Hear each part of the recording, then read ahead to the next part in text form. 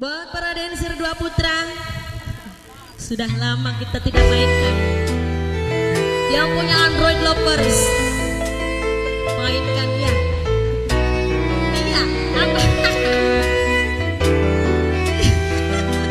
Iya Dancer